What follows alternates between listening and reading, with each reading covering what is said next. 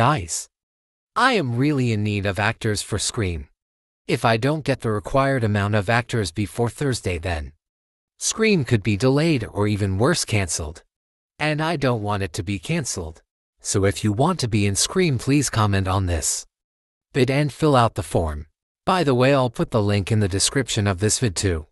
Please I don't want Scream to get cancelled. If you were just waiting to watch it then please fill out the form. Because you may never get to see it. Right now we only have two actors. But we need 19 actors. Please if you are watching this send it to a friend. Anyway I'll post an update tomorrow of how many actors we have.